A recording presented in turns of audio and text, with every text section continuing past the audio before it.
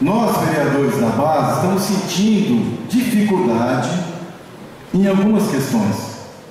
Quando falei da demora lá da, das respostas para o requerimento, essa semana já teve um torpedo falando que a culpa é dos funcionários indicados por muitas composições de vereadores.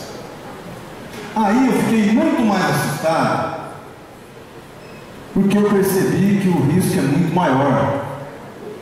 Porque tais requerimentos, na verdade, pelo menos é a forma que eu entendo, me corrijam se eu estiver errado, é o chefe da pasta que tem que responder.